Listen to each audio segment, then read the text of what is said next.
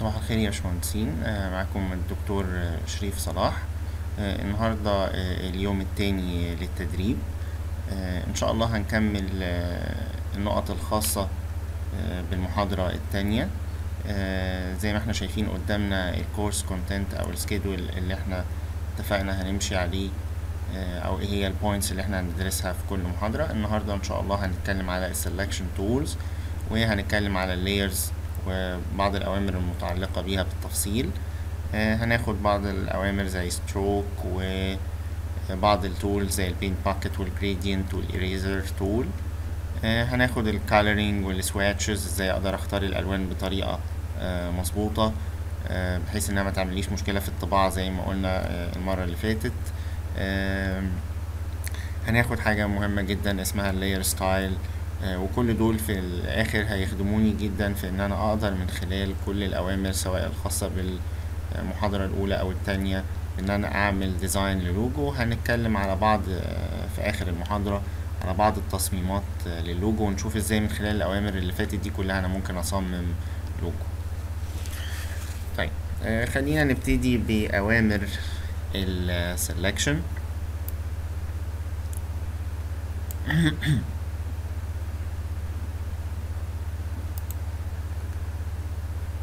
إحنا المرة اللي فاتت اتكلمنا على أول سelection tool بكل التفاصيل بتاعتها اللي هي الماركي tool rectangular marquee tool وقلنا short cut بتاعها M.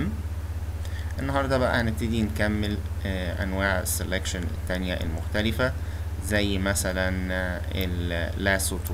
okay طيب ال lasso tool طبعا هي مكانها في ال في ال tool bar وقائمة ال tools و آه، ال shortcut بتاعها ال L okay طيب آه، أنا هفتح آه، صورة.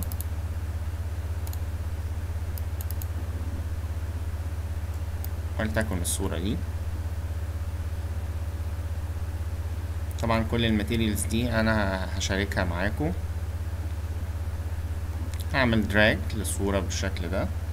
كل ده أنا دايس على ال click وهسيب ال click بتاعة الماوس عشان يعمل لي open لل picture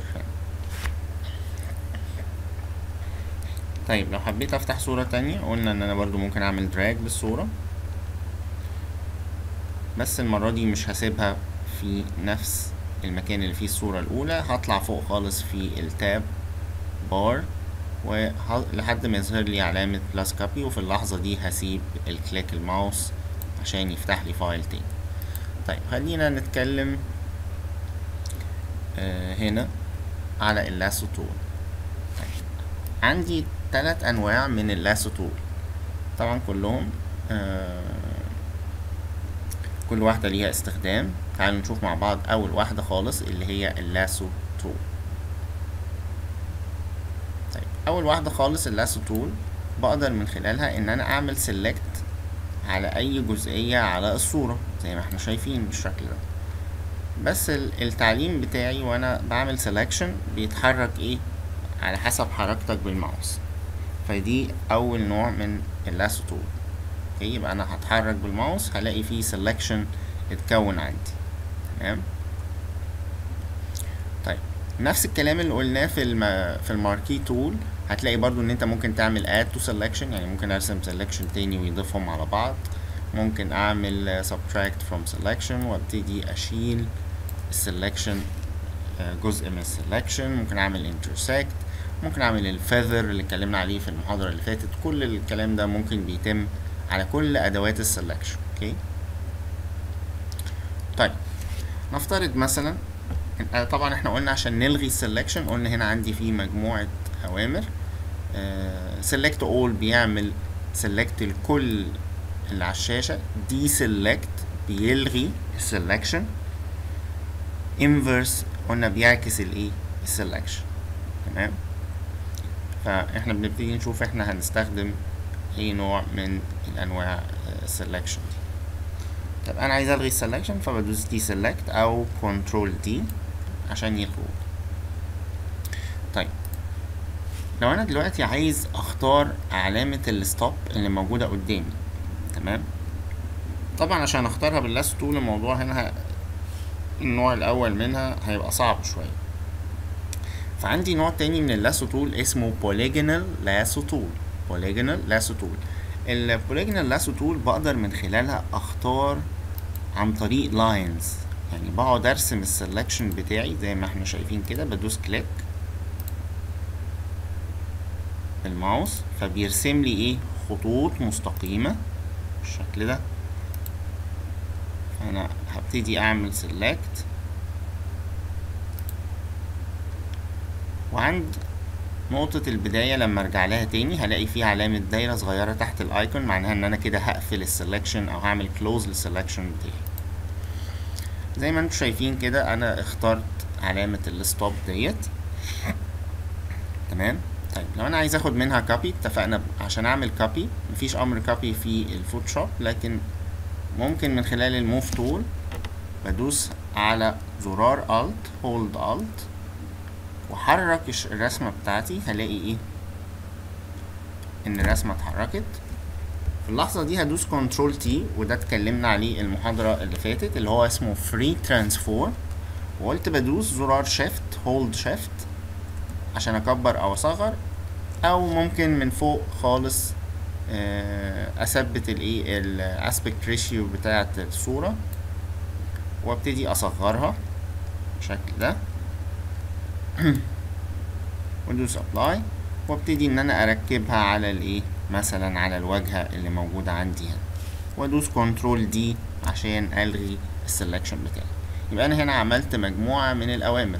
عملت selection وعملت transform وعملت move بحيث إن أنا حركتها وحطيتها على الواجهه دي نفس علامه ال stop خدتها وحطيتها على الواجهه بتاعة المبنى. فده النوع التاني من ال lasso tool طيب.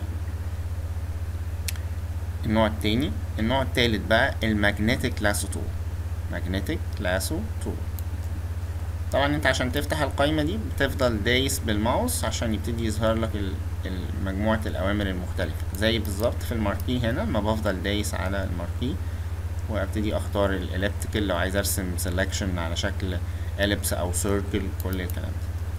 طيب نرجع لموضوعنا ال magnetic lasso tool ال magnetic lasso tool automatic هي بتلقط الفرق خط الفرق بين اللونين. يعني هنا في لون واضح مثلا الأحمر وال وال والأزرق أو الأبيض والأزرق وهكذا.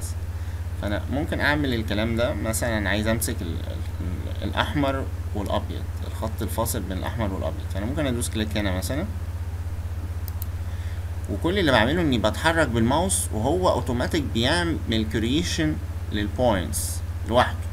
بس يفضل عند كل تغير في الخط في زاوية الخط يعني أنا دلوقتي كده في زاوية أقوم دايس في ال corner بتاع الشكل click وأتحرك بالماوس أنا دلوقتي ما بدوس أي click لحد ما أوصل لل corner بدوس click أتحرك بالماوس أنا كل ده ما بدوس click هو ال magnet شغال معايا لوحده.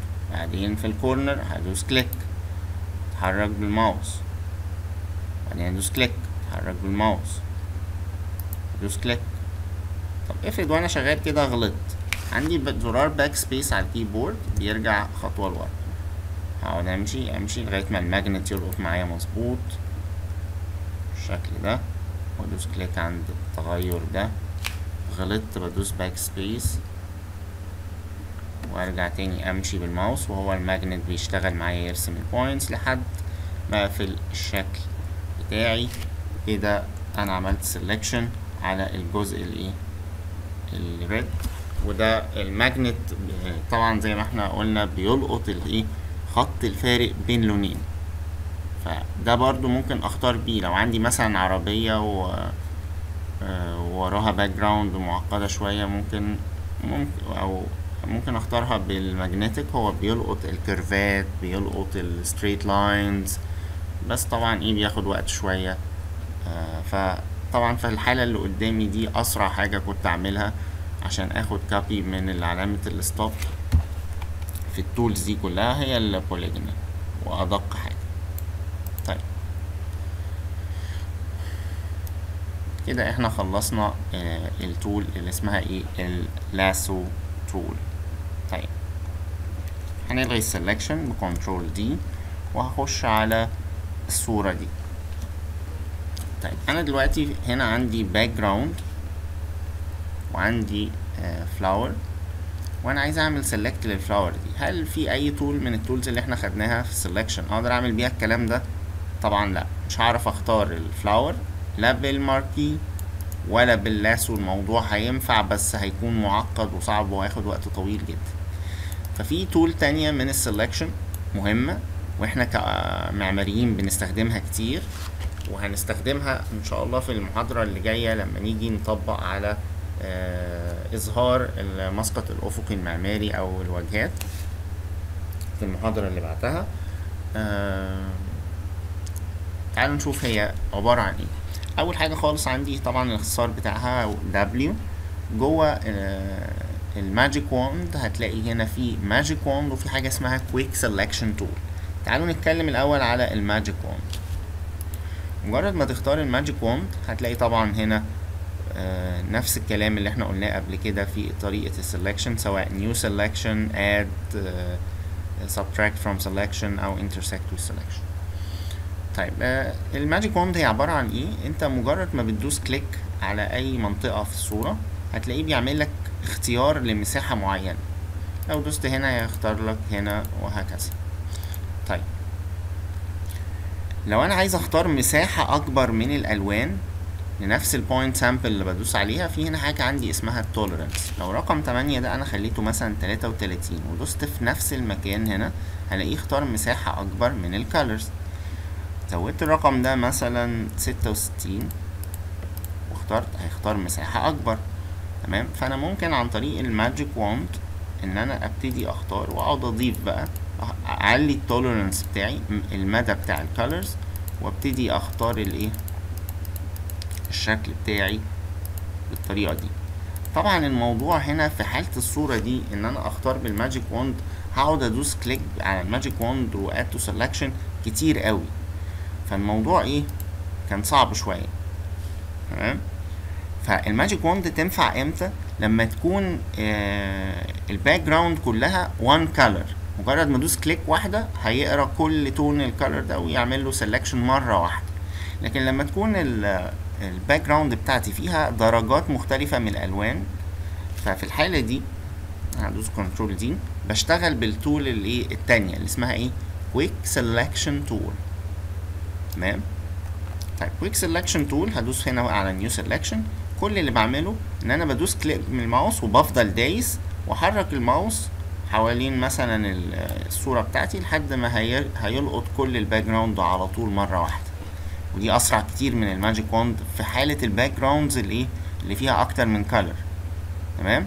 لكن لو هي فيها one color هيبقى مين أسرع؟ ال magic wand okay؟ طيب أنا دلوقتي مختار ال background لو جيت أعمل move طبعا لو عملت move كده يعمل لك cut تمام؟ دوست alt بيعمل إيه؟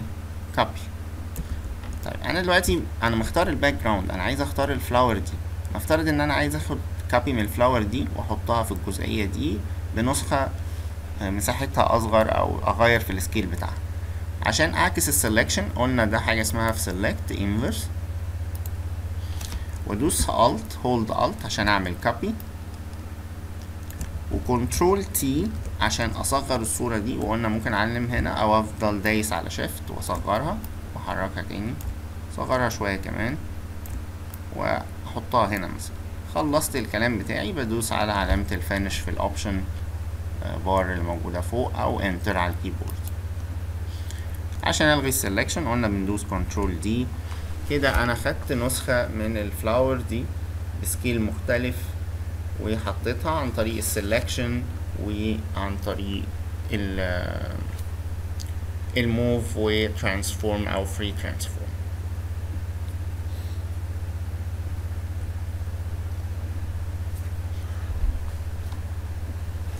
طيب. يبقى إحنا كده خلصنا آه الأنواع المختلفة من الإيه؟ من ال selection تمام؟ طيب في بعض الأوامر في قائمة select هنا آه هنتكلم عليها آه وهنستخدمها في تصميم اللوجو في آخر ال lecture okay ف تعالوا نشوف مثلا أنا عندي هنا في في ال select آه إحنا ما قلناش إيه هو ال reselect آه لو أنت دوست هنا في select على reselect بيجيب لك آخر selection كان موجود. يبقى reselect بيجيب لك إيه؟ آخر selection كنت أنت مختاره. يعني لو أنا دوست control D ولغيته عايز أجيبه تاني بدل ما أقعد أعمل عليه selection تاني الموضوع بيبقى صعب. فبقول له من فضلك إيه؟ reselect أو shift control D okay؟ طيب. تعالوا نشوف كده لو أنا عامل selection على شكل circle. تمام؟ تعالى نعمل ورقة فاضية A4 مثلا صغيرة أو مش مشكلة خمسين وسبعين okay؟ تمام؟ لو أنا عامل selection بالشكل ده أو حتى لو مربع خليه مربع مثلا. عامل selection أهو. تمام؟ هتلاقي عندك بعد ما بتعمل selection في عندك في قائمة select حاجة اسمها modify. Select إيه؟ modify. جوه modify بقى أنا ممكن أعدل على ال selection بتاعي بعد ما عملته. أول حاجة عندي خالص في select modify اسمها border. يعني إيه border الأول بحدد عدد ال pixels خلينا نقول إنها 44 بيكسل مثلا وادوس okay إيه اللي حصل لما عملت border عمل لي اوفست تمام لل selection الأساسي واختاره لي إيه؟ بالشكل اللي إحنا شايفينه ده. اوفست بكام بيكسل؟ أنا حددت 44 بيكسل. تمام؟ يبقى بيعمل offset لل selection وبالتالي مثلا ممكن بالفرشة أبتدي ألون الإيه؟ ال selection دوت فكأني عملت إطار. تمام؟ طيب. بس للأسف الإطار دوت بيبقى حواليه feather شوية. يعني هتلاقي حوالين ال ال selection بتاعك feather برغم إن أنا ما عملتش هنا feather هتلاقي اللون مختفي شوية. فدي ما بتكونش أفضل طريقة لعمل الإطار. في طريقة تانية إيه هنقولها بعد ما نخلص الايه ال modify طيب نرجع تاني undo. يبقى أول واحد في ال select modify ال border عرفنا بيعمل إيه. طيب السموث السموث سelection ده بستخدمه أكتر لما يكون بعمل ال magic wand يعني لو أنا مثلا عامل بال magic wand selection ال selection ساعات بيجيلك مكسر شوية. خلينا نخلي دي مثلا اتنين وعشرين. يعني لو الخطوط هنا مكسرة شوية الخاصة بال selection وأنا عايز أخلي الحاجات دي إيه؟ سموث شوية. أعدل في ال smoothing بتاع الإيه؟ الخطوط نفسها متبقاش مكسرة قوي زي الجزئية دي بالذات. عايزها تبقى سموث شوية. فممكن أقول له select modify إيه؟ سموث وأبتدي أشوف أنا عايز أعمل سموث بقيمة قد إيه من عدد ال pixels اللي هنا. وأقول له okay شايفين ابتدى يقلل طبعا 22 بالنسبة للمساحة دي كبير شوية بس هتلاقي ال selection بقى إيه؟ كله smooth okay آه يعني كنا ممكن نختار شوية رقم أقل شوية في السموث بالنسبة للمساحة دي وليكن مثلا خمسة عشان ما يغيرليش قوي في الإيه؟ في, في شكل ال selection يفضل زي ما هو بس يعمل smoothing لل outline بتاع ال selection فده اللي هو الإيه؟ السموث طيب نرجع هنا تاني. هتلاقي عندك في select modify. في حاجة اسمها expand. لو أنا حبيت أكبر ال selection ده شوية لبره أو أقلله شوية لجوه. يبقى expand بي بيكبر ال selection و contract بيقلل ال selection فبدوس هنا على expand وأحدد عدد ال pixels هتلاقي إن المربع بتاعك اتعمل له اوفست نفسه هو لبره وكبر. العكس اسمه contract. بقدر من خلاله أصغر ال selection وأدوس okay فهتلاقيه صغر لإيه؟ لجوه. ده الفرق بين آه contract و expand. خلينا نكبر شوية. نشوف أكتر. شايفين الشكل قل طيب آه لو أنا كنت عامل سelection وعايز أعمل feather للسelection ده طبعا إحنا خدنا وأنا برسم السelection ممكن أحدد الفيذر طب افرض أنا كنت خلاص رسمت السelection وعايز أعمل الفيذر هل لازم أعمل نيو سelection وأعيد السelection تاني؟ مش لازم. بخش من هنا على modify وأقول له من فضلك ال selection اللي قدامك ده أعمل له feather وحدد قيمة ال feather 33 مثلا. هتلاقي شايفين الأركان بقت faded إحنا اتفقنا إنه ده معناه إنه إيه؟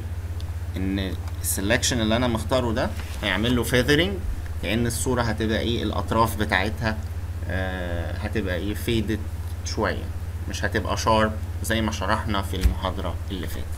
ف feather يعمل عشان تعرف إن هو عمله بيعمل دوران كده في ال corners زي ما إحنا شايفين وبيبتدي طبعا بقى المسح بتاعي زي ما إحنا اتفقنا. آه، لو حبينا نجربه مثلا على الصورة دي. آه، أنا رسمت أهو وكان ال feather هنا zero. اخش على هنا أقول له select modify بس خلينا نختاره على أطراف الصورة بالشكل ده. أقول له select modify feather. وأخلي دي خمسة وخمسين مثلا. شايفين؟ هقول له select inverse عشان أمسح الأطراف مش مش من جوه الصورة من الجزء الخارجي دوت. وأدوس delete على الكيبورد وأدوس OK أقول له هنا background color. وأدوس delete و OK delete و OK بالشكل ده لحد ما هتلاقي الأطراف بتاعت الصورة بقت faded زي ما إحنا شايفين. هو ده ال feathering طيب يبقى إحنا كده في المحاضرة بتاعتنا اتكلمنا على ال selection tools كلها خلصناها ابتدينا فيها المحاضرة اللي فاتت والنهاردة كده خلصنا ال selection tools تعالوا كده هنتكلم بقى على أوامر ال transform إحنا خدنا المرة اللي فاتت transform. Free transform الموجود في قائمة edit free transform. تعالوا كده إحنا هنضيف نفس الصورة اللي كنا اتكلمنا عليها المرة اللي فاتت كانت الصورة دي. إحنا اتفقنا ان أي صورة أنا بضيفها على الملف عندي اوتوماتيك هو بيدخلني في أمر إيه؟ free transform. طيب لو أنا دوست finish ثبت الصورة دي. تمام؟ هتخش هنا في قائمة edit هتلاقي بقى مش free transform اللي اتشرح المرة اللي فاتت لا هتلاقي هنا في أمر transform. وجوه transform في مجموعة من الايه من ال options تمام؟ طيب. ال option scale و rotate ال two options دول وكل ال options اللي تحت دي سواء كان rotate أو 180 درجة أو 90 clockwise مع الساعة أو counter clockwise عكس الساعة أو flip vertical أو horizontal كل ده إحنا عملناه عن طريق ال free transform وممكن نعمله عن طريق transform directly من خلال ما ادوس عليه. يعني أنا ممكن أعمل مثلا rotate للصورة دي.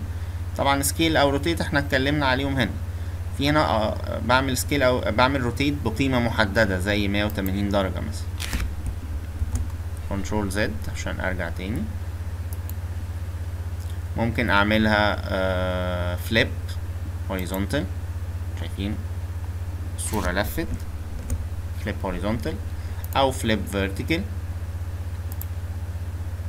فده هيكون أسرع شوية من free transform طب أنا إزاي أعمل أصلا flip للصورة دي عن طريق free transform قلنا بندوس control T تمام؟ واثبت ال ratio أنا هنا لو اديت قيمة negative يعني لو دوست هنا الإشارة negative شايفين؟ بيعمل هنا في ال W flip إيه؟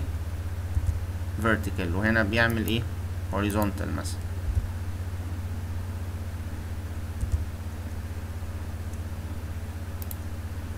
sorry مش هثبت ال ratio مش هثبت ال ratio هنا شايفين أهو horizontal و vertical.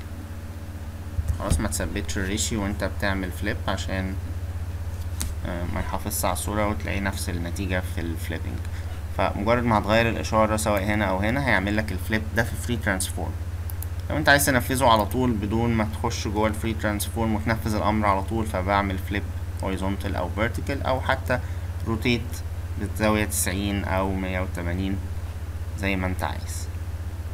تمام؟ فدي آه، ده أمر إيه؟ transform هتلاقي بقى جواه نفسه في مجموعة options برضو. زي skew distort و perspective و warp كل الكلام دوت. تعال نشوف كده أول واحد بيعمل إيه مجرد ما هدوس عليه. لو جيت أحرك ال points بتاعت الصورة شايفين هتلاقي ابتدى يعمل لك زي نقط تهريب للصورة زي ما انت شايف كده. بمسك النقط بقى وابتدي أحركها. طبعا الكلام ده بيغير في ال... بيعمل زي distortion لشكل الصورة نفسها وبيغير فيها. طبعا الأمر ده بيستخدمه أكتر الناس الخاصة بال graphic designers إحنا مبنشتغلش عليه قوي. لكن ممكن نستخدمه في اللوجو هيبقى له بعض الاستخدامات عندنا هنبقى نقولها آه، إن شاء الله في وقتها. آه، في distort بدل ما بحرك points بحرك lines وبيثبت line زي ما أنتم شايفين كده.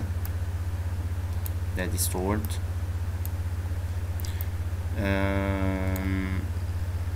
في برضو عندي perspective إن أنا بعمل perspective يعني ممكن أحط مثلا شجرة في اللقطة بتاعتي وعايزها تتهرب يبقى فيها نسبة تهريب شوية. ده ال perspective طبعا فكرة ال perspective عموما هو إن أنت بتهرب ال object بتاعتك على one point أو two point. ده ال perspective فبيديك إيه؟ آه إحساس بالمنظور أو الشكل المنظوري.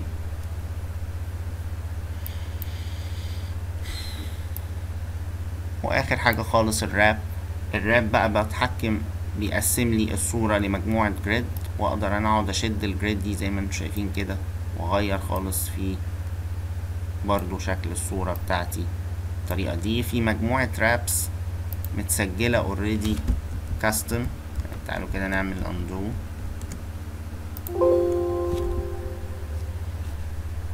تمام. وال warp على فكرة برضو موجود في ال free transform موجود فوق اهو هنا. مجرد ما هندوس عليه هختار من هنا بقى في warps جاهزة في ال arc مثلا. في ال arc lower يعني في هنا حاجات جاهزة ممكن تختارها لأشكال ال warps عارفين أقعد أعمل كده.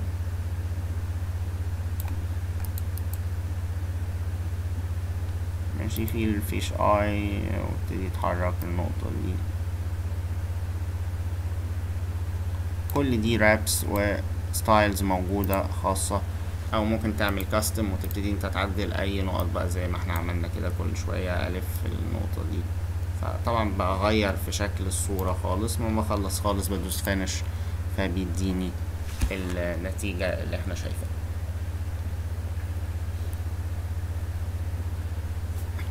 ده كده إيه؟ ال transform بال options بتاعته كلها. تمام. كل الحاجات دي هتفيدك عشان تقدر تعدل وتعمل وتصمم اللوجو بتاعنا اللي هو الهدف من ال lecture بتاعت النهارده. طيب إحنا كده خلصنا النقطة الأولى. تعالوا بقى نتكلم بالتفصيل على ال layers بكل ال options اللي فيها. تمام آه وبعد كده هنتكلم على أمر stroke طيب.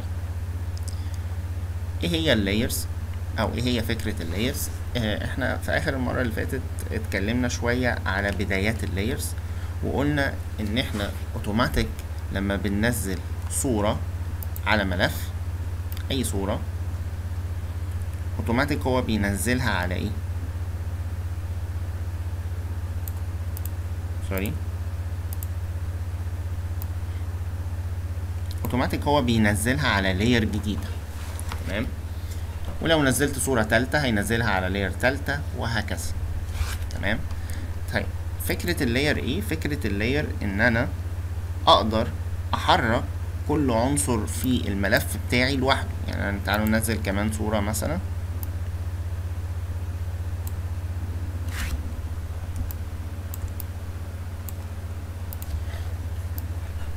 بالشكل ده.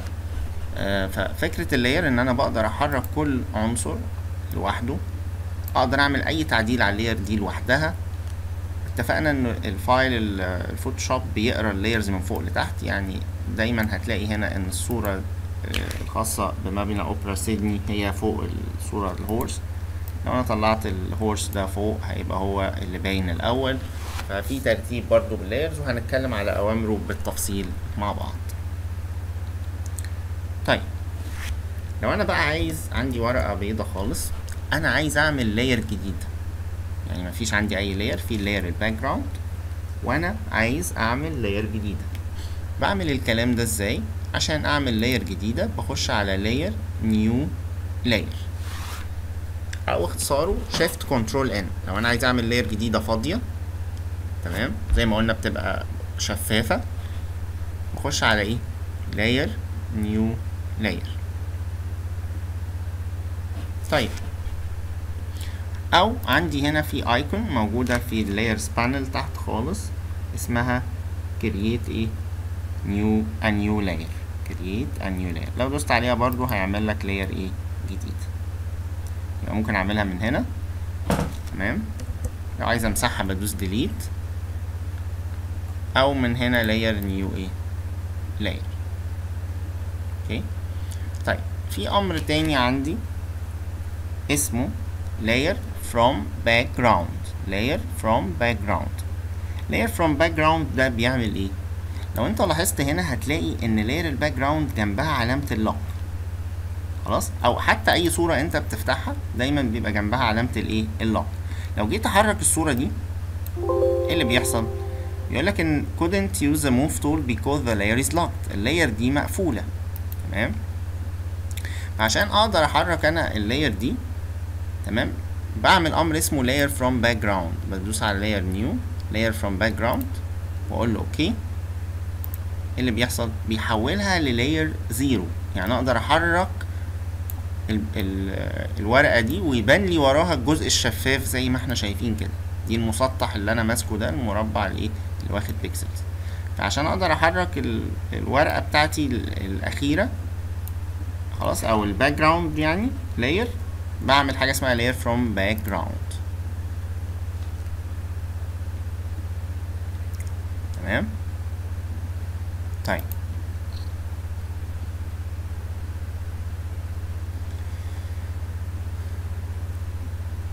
في طريقة تانية إن أنا أعمل layer from background إن أنت هتدوس على طول automatic double click على ال layer هنا. ده اختصارها يعني. بدوس double click في المن... في المنطقة دي على ال layer نفسها وادوس okay برضو هيحولها ال layer إيه zero بدل ما أخش على ال menu bar تمام؟ طيب تعالى كده نشوف كذا تطبيق على فكرة ال new layer وال layer from background دي. ممكن ليها استخدام إيه تاني؟ طيب تعالى هنقفل دي.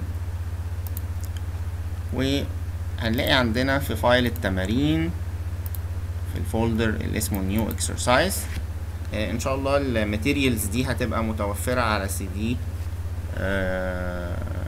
جوه الأكاديمية.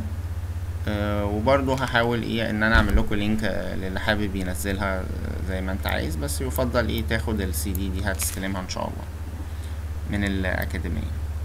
طيب آه أنا هنزل هفتح الصورة دي لوحدها. صورة ال plane الطيارة دي زي ما إحنا اتفقنا ان أنا لو جيت نزلت صورة الطيارة دي عليها دوست finish ينزل إيه؟ على layer جديدة. تمام؟ بالشكل ده.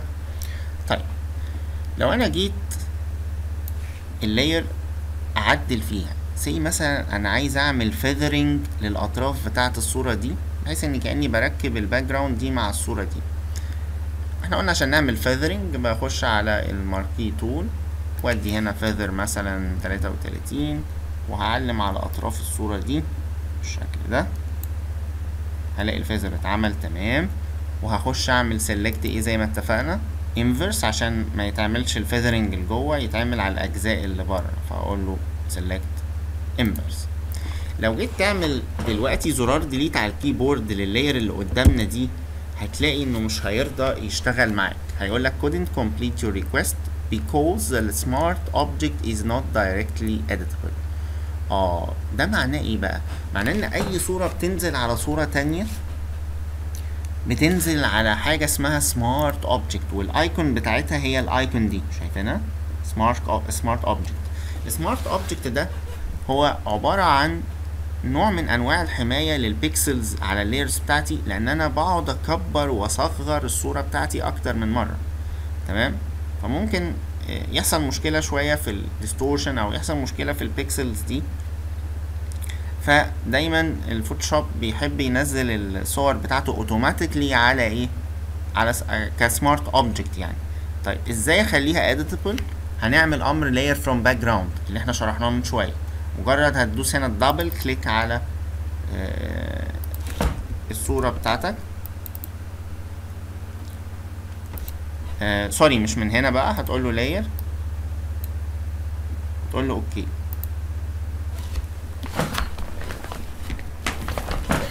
آسف.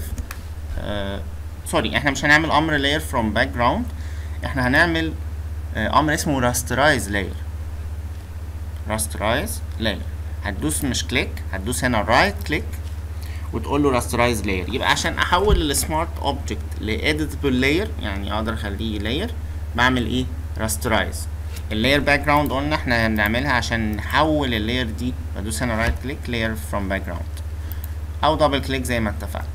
لكن عشان تخلي الصورة دي editable تقدر تعدل فيها بتدوس right click هنا وتقول له rasterize layer. خلاص. فشايفين علامة ال smart object إيه اختفت معاك ما بقتش موجود طيب أنا كنت عامل selection من شوية لازم أعيده؟ لا هخش على select إيه؟ reselect. شايفين؟ جاب لي selection تاني. خلاص فبعد ما عملت للصورة دي rasterize layer هدوس delete على ال keyboard بالشكل ده وأقعد أدوس delete delete فهلاقي دي النتيجة اللي ظهرت لي في ال exercise ده. خلاص يبقى أنا نزلت الصورة بتاعتي. عملت selection حولت الإيه؟ الصورة دي ل rasterize layer بدل ما هي كانت smart object عندي. okay. طيب تعالوا نشوف تمرين تاني. في تمرين تاني برضو هتلاقيه عندك.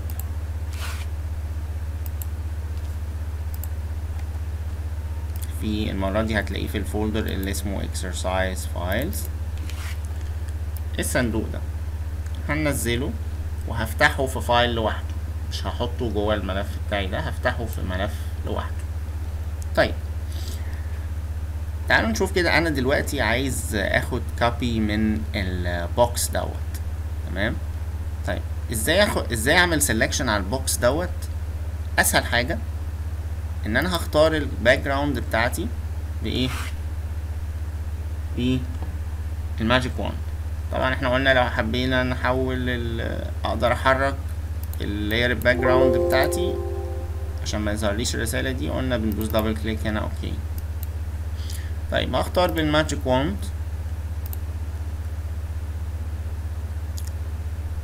ال background بتاعتي وأقول له select inverse.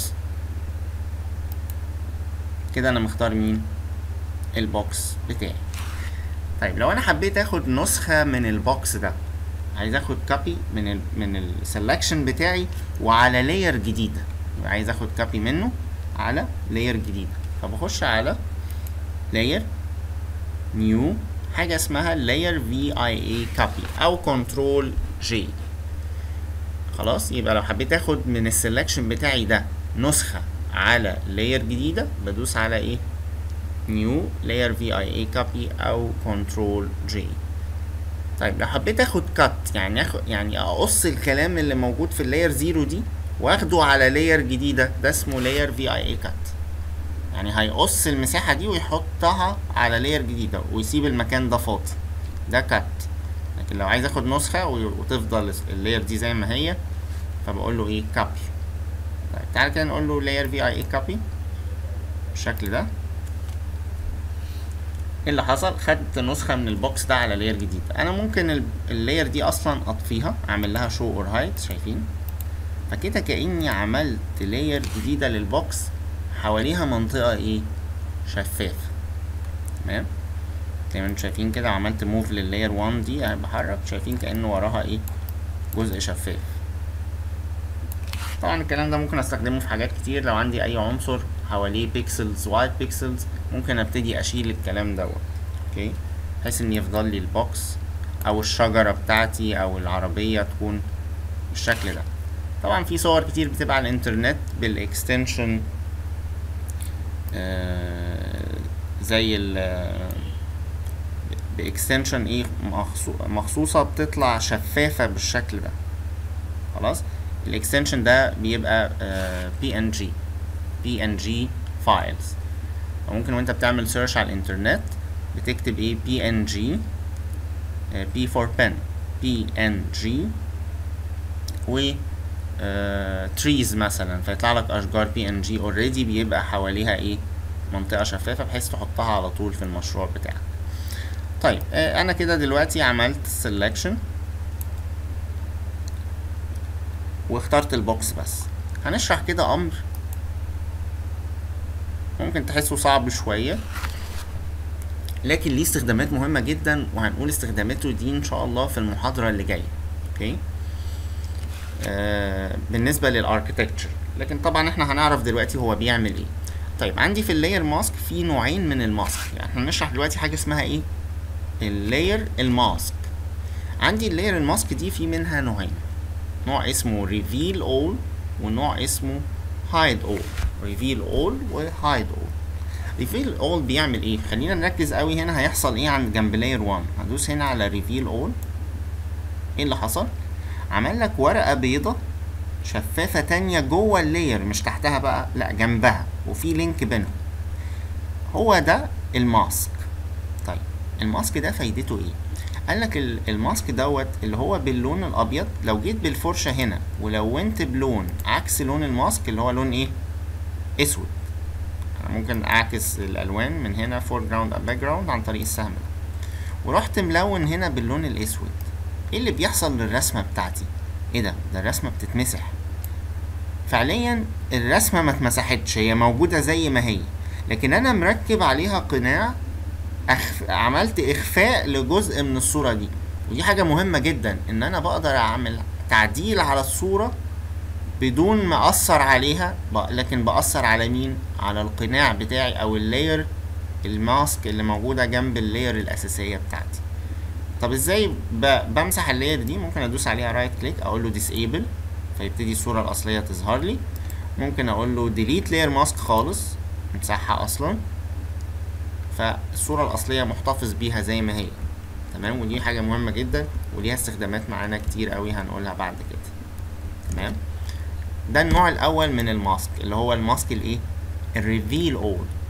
خلاص؟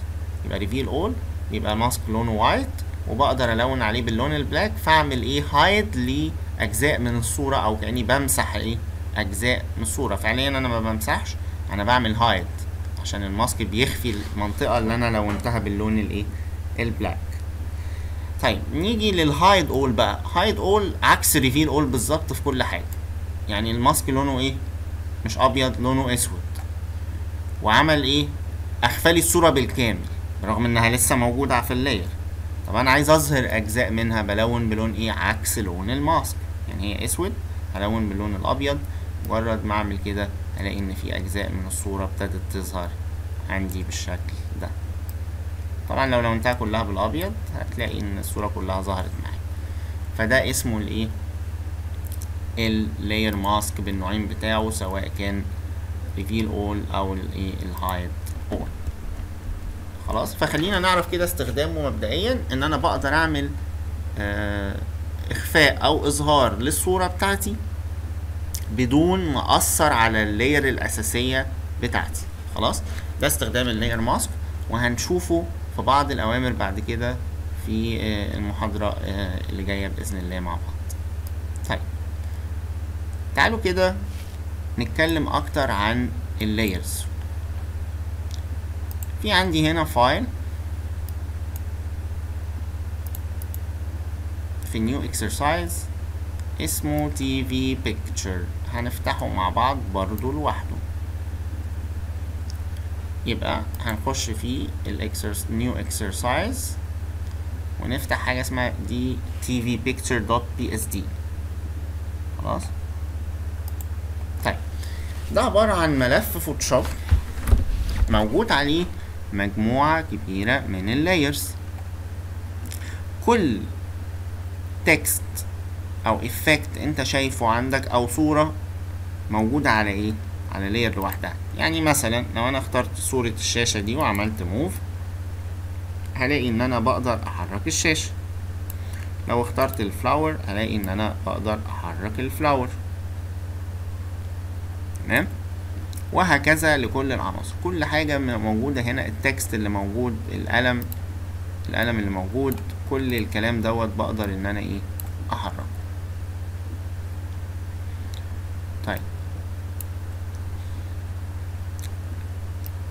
إحنا دلوقتي هنتكلم على آه آه إزاي بقدر اتعامل مع ال layers أو ال layer panel اللي موجود عندي هنا. عندي اوامر كتيرة قوي آه هستخدمها عشان أقدر اتعامل مع ال layers بعد ما اكون عملت الملف بتاعي. طيب اول حاجة خالص هو أنا بعمل select لل layers إزاي؟ أنا ممكن إزاي أختار ال layers دي؟ إحنا قلنا طبعا الطريقة اللي إحنا عارفينها إن أنا ممكن أدوس click هنا في ال layer panel على أي layer بس ال layers دي لو عددها زاد ممكن توصل ل 100 layer الموضوع إن أنا أقعد أعمل بال scroll وأدور عليها بياخد وقت كبير جدا. فمن الطرق السهلة جدا إن أنت بتدوس right click على ال object بتاعك وتختار اسم ال layer هتلاقيه راح اوتوماتيك عمل لها selection يعني أدوس right click هنا ولو لو المنطقة اللي انت فيها دي دوست right click فيها فيها أكتر من layer فوق بعض بيبتدي يعمل لك يقول لك انت عايز تختار ال pen ولا ال shadow بتاعه ولا الشاشة فزي ما انت عايز. ممكن أقول له لا اختار لي ال pen فمسكت ال pen. فدي طريقة بدل ما إيه ما أشتغل. طبعا مهم جدا في تنظيم شغلك إن أنت وأنت بتعمل layers تكون برضو مسميها عشان تقدر تسهل عليك موضوع إن أنت تبقى عارف إن ال layer دي تخص ال text ولا الشاشة ولا ال pen وهكذا. طيب. ده معناه إن أنا ممكن بعد ما أعمل ال layer أعمل لها rename ممكن أدوس double click هنا وأسمي ال layer زي ما أنا عايز. أو أنت بتعمل لها creation من الأساس. ممكن بتعمل لها إيه؟ تختار الاسم بتاعها من هنا. طيب. إحنا اتكلمنا برضو على حاجة مهمة جدا اللي هي ترتيب ال layer قلنا إن file Photoshop بيقرأ ال layer من فوق لتحت. لو أنا خدت الشاشة دي وعملت لها drag لحد ما طلعتها فوق خالص drag بالماوس. شايفين دارت على كل حاجة لأن الشاشة هي أعلى نقطة فوق. طيب. في عندي بعض الأوامر هنا. في قائمة لاير أمر لاير arrange. لاير إيه؟ arrange. أهو. layer arrange.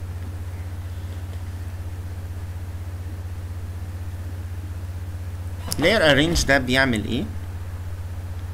بقدر من خلاله أرتب ال layers بتاعتي. إزاي؟ أنا دلوقتي زي ما اتفقنا ال layer دي هي آخر واحدة موجودة تحت خالص. نفترض إن أنا عندي 150 layer هل هقعد أعمل drag ليها بالماوس لحد ما تطلع فوق؟ تبقى أول واحدة؟ طبعا هياخد مني وقت كبير قوي وهيبقى مرهق. فعشان تطلع ال layer دي تخليها هي أعلى layer فوق خالص في خطوة واحدة بتخش على arrange وتقول له bring to front. bring to front. فإيه اللي هيحصل؟ هتبقى هي أعلى واحدة على طول. تمام؟ طب عايز أعلى واحدة خليها آخر واحدة. هل هقعد أعمل لها drag بالماوس برضو؟ قال لك لا. هتخش على إيه؟ layer arrange وتقول له إيه؟ send to back. وهتلاقي ال shortcuts بتاعتها موجودة جنبها. يبقى bring to front بيخليها أعلى واحدة فوق. send to back بيخليها آخر واحدة تحت. طيب send backward يعني إيه؟ يعني يخليها تنزل تحت layer 3 بس. طب bring آه طب bring forward خليها تطلع فوق. طب هي ليه bring forward مقفولة؟ عشان هي أصلا في التوب مفيش حاجة تطلع فوقيها. لكن لو أنا حطيتها هنا مثلا خلاص؟ هتلاقي في الغالب كده كله شغال معايا. الأربعة بتوعي أهو. لأن ممكن تطلع قدام تطلع خطوة واحدة لقدام أو ترجع تحت layer 2 بواحده يعني أنا ممكن أنزلها تحت layer 2 بواحده طبعا في حالة إني أطلعها واحدة أو أنزلها واحدة مش هحتاج إن أنا أستخدمها من هنا. ما أنا ممكن اعمل لها drag على طول بالماوس. لكن bring to front و send to back دول أكتر استخداما بعملهم من هنا عشان أوفر في الوقت. خلاص؟ وخصوصا كمان لو استخدمت ال shortcut بتاعهم. خلاص؟ فلو قلت له send backward هتبقى الشاشة تحت layer 2 زي ما أنتم شايفين أهو.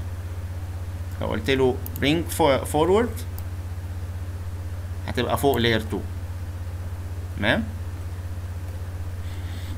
طيب أمال إيه هنا في حاجة في arrange اسمها reverse ومطفيه قال لك reverse دي بتعكس layer مكان layer. عشان أعملها لازم أختار two layer. طب أنا إزاي بختار two layer في نفس الوقت؟ بدوس control على الكيبورد hold control يعني أفضل دايس عليه. ممكن أختار أكتر من layer مع بعض. وبعد ما أختارهم أقول له arrange إيه؟ هلاقي بقى كلمة reverse نورت فيعكس لي دي مكان دي. حتى لو كانت واحدة فوق وواحدة مثلا تحت خالص هنا. مش مشكلة. برضو هتلاقي ممكن يعمل لك إيه؟ reverse اليوم. ينقل دي مكان دي. reverse طيب كل الكلام اللي أنا بقوله ده مهم جدا. طبعا الموضوع ال file لو في عدد layer قليلة مفيش مشكلة. ممكن أشتغل عادي بايه بال بال drag okay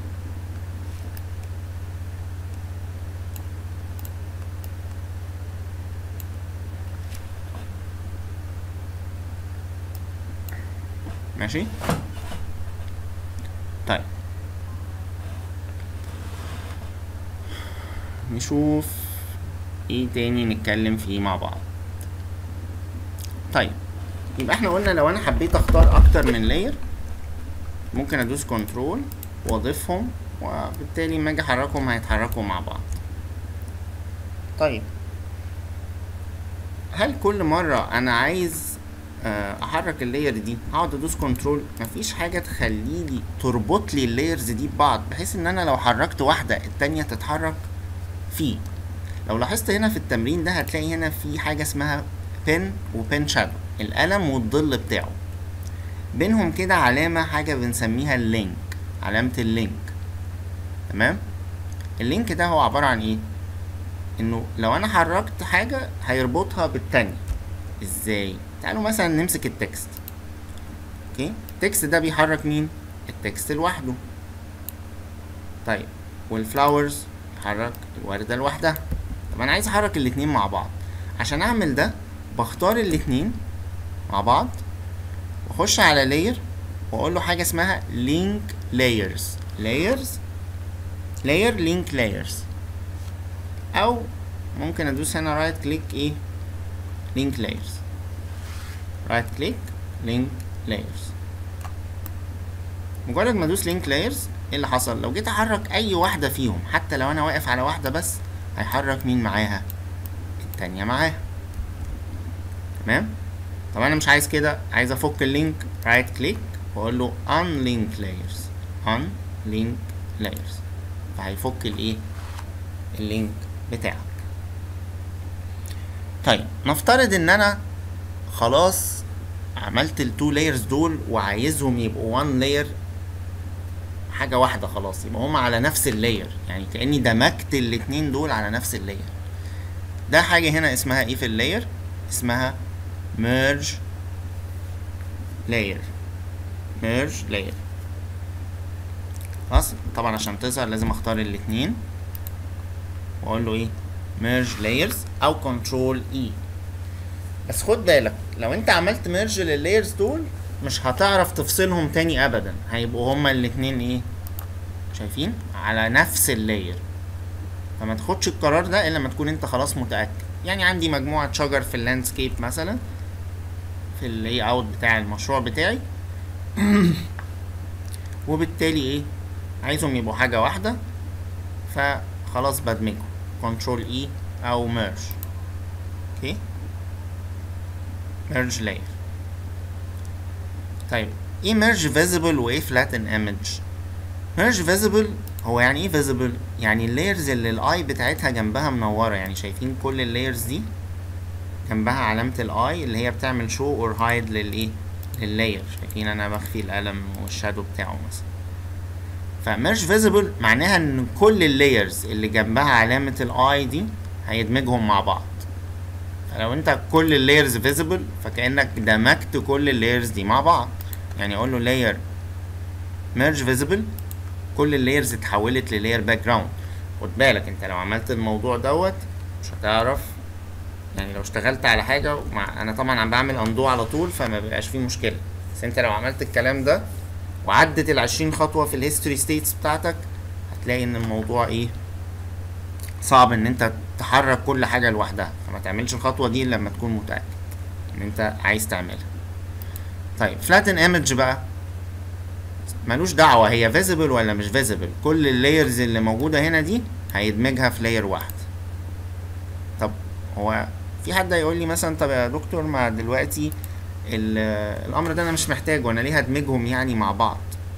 أقول لك لأ ساعة الطباعة وأنت بتطبع الصورة دي لما بتطبعها من ال Photoshop وهي مجموعة layers بالشكل ده الموضوع بياخد وقت وبي إيه بيبقى صعب شوية وبيهنج وياخد time كتير عشان كل يقعد يطبع ال layers دي كلها.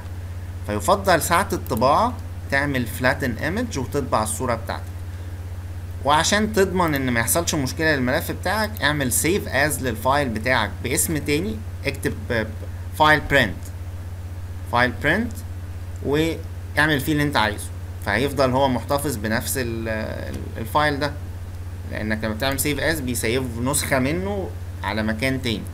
واعمل فيها اللي انت عايزه. لكن ما ما تعملش الكلام ده على الصورة الأصلية بتاعتك. عشان يفضل الملف موجود بال layers بتاعته. عشان لو حبيت تعدل أي حاجة في ال future بعد كده في المستقبل يبقى إيه؟ تقدر تعدلها.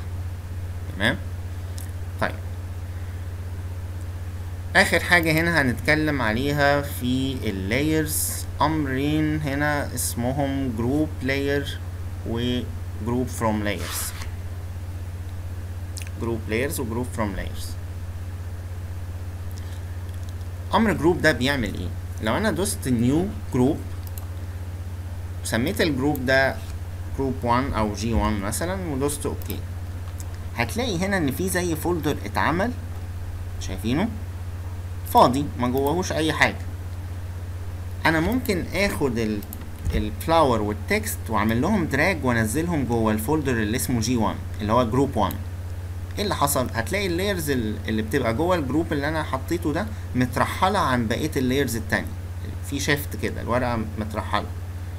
واحد يقول لي أنا هستفيد إيه ما اعمل ال group ده؟ هتستفيد إن أنت ممكن تعمل minimize و maximize لل group دوت. تقدر تطفي كل اللي جوه ال group وتظهره مع بعض بدون ما تقعد تدوس على لو هم مثلا 20 layer وحطيتهم جوه ال group لو طفيت ال group هيطفي ال 20 layer مرة واحدة. فده بينظم الشغل بتاعك ومهم جدا في شغلنا وإحنا شغالين. ليه؟ لأن أنا ممكن يبقى عندي زي ما قلت في ال landscape في 50 شجرة. تمام؟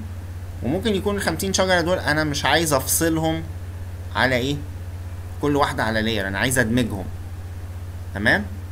أو أحركهم مع بعض بس في نفس الوقت مش عايز إن كلهم يبقوا على نفس ال layer يفضلوا كل واحدة على layer يعني كأني عندي 50 layer متخيل إن أنت هنا لعنصر واحد بس في ال landscape حاطط 50 layer أنت معناه بقى إن ال file ده عشان تقعد تعمل scroll down و up هياخد منك إيه؟ وقت كبير جدا. لكن لو عملت minimize شايفين بيبتدي يقلل إيه عدد ال layers اللي موجودة هنا. شايفين؟ كده ال scroll آه صغرت أو كبرت المساحة اللي فيها الايه ال layers بتاعتي. تمام؟ عشان أختزل ال layers دي آه، وكمان أنظم الشغل بتاعي. ممكن غرف النوم مثلا الفرش بتاعها أعمل له folder الفرش الخاص بال reception اعمل له folder وكل حاجة جوه ال folder ده هي اللي أنا فرشت بيها آه غرفة النوم أو ال reception أو الحمام وهكذا. فترتيب الشغل مهم جدا. ال groups دي إيه؟ أمر group ده بنستخدمه كتير جدا. طيب هتلاقي بقى في منه حاجات كتير. إن هو أنا مثلا لو أنا دخلتهم جوه ال group زي ما أنا قلت كده وعايز أخرجهم من ال group بعمل إيه؟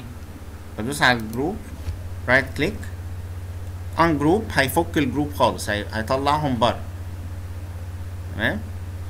delete group هيمسح ال group بال layer اللي جواه. delete group duplicate group هياخد copy من ال group ده كأنه خد نسخة بكل ال layer اللي جواه. يبقى كأن خدت copy بال group بكل اللي جواه أو مسحت ال group خالص أو فكيت ال group. دوست ungroup من هنا. فال group خلاص اتمسح وال layers خرجت بره بقوا كلهم على نفس الخط. فكل ده تقدر تعمله من الايه؟ ال group. لو انت معلم على كذا layer وعايز تحطهم في group مر.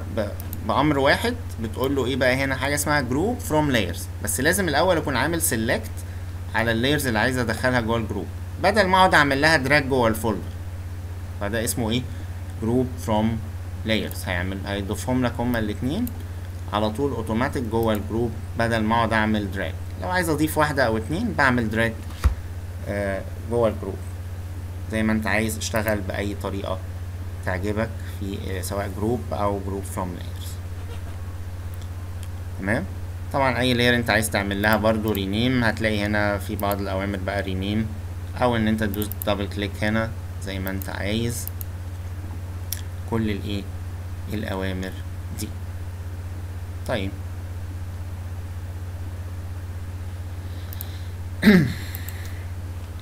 كده إحنا اتكلمنا على الأوامر الخاصة بال layers آه في هنا حاجة برضو آه مهمة برضو في آه بعض ال layer options اللي موجودة عندي هنا. تعالوا بس نفك ال group ده ندوس على right click on group في هنا عندي أربع أنواع من ال lock أربع أنواع من ال lock زي مثلا حاجة اسمها lock transparent pixel lock transparent pixel لو أنت لاحظت إن ال flower دي هي موجودة فعلا على layer لوحدها وحواليها منطقة شفافة لو أنت جيت تلون على ال layer دي بالفرشة هتلاقي إن هو بيلون لك كامل مسطح ال layer دي. شايفين في الجزء ده؟ طب افرض أنا مش عايز كده. أنا عايز ألون ال flower بس بدون الشفافة دي. فبقول له هنا حاجة اسمها إيه بقى؟ lock transparent pixel لو جيت تلون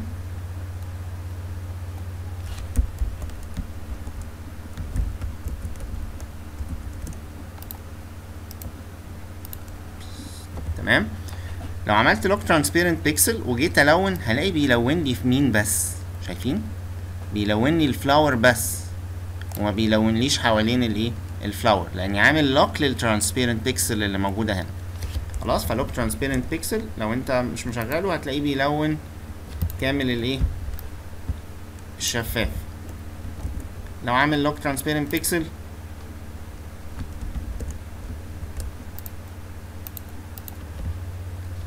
هتلاقيه بيلون الوردة بس. okay؟ طيب.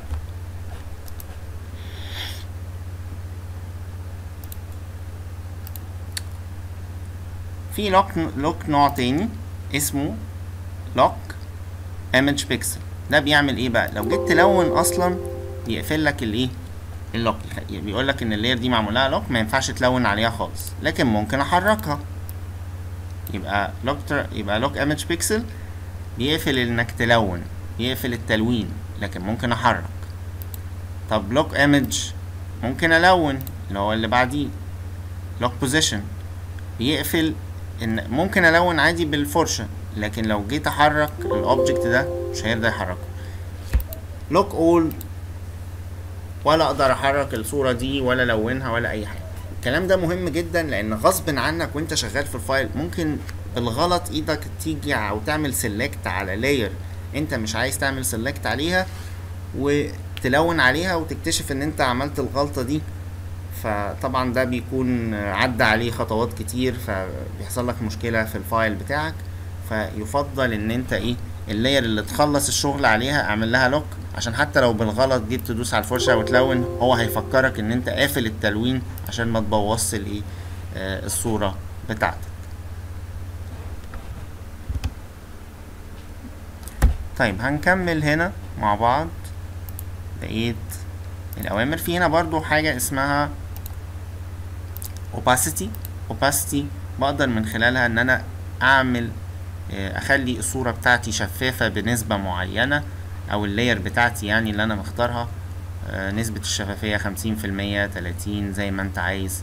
دي ال opacity و fill زي opacity بالظبط برضو بتتحكم برضو في الشفافية خاصة بال object بتاعك. تمام؟ طيب. نشوف مع بعض. يعني إحنا كده اتكلمنا عليها. تمام.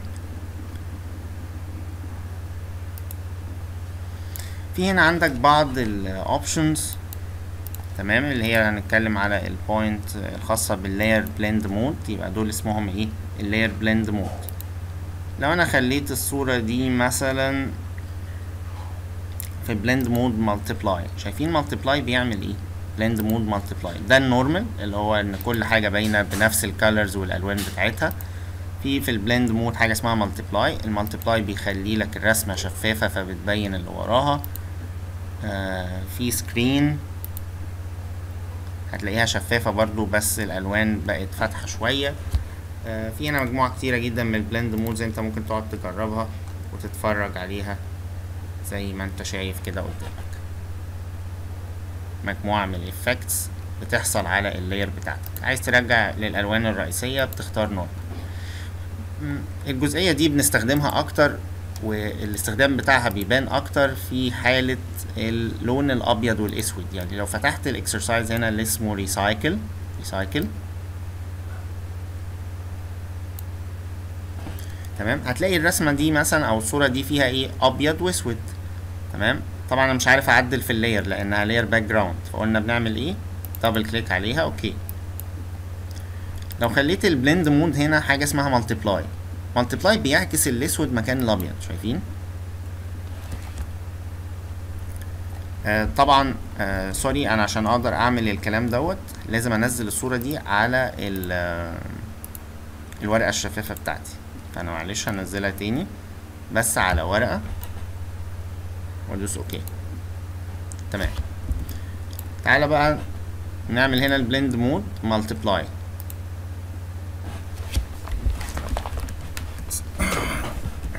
ثانية واحدة معلش.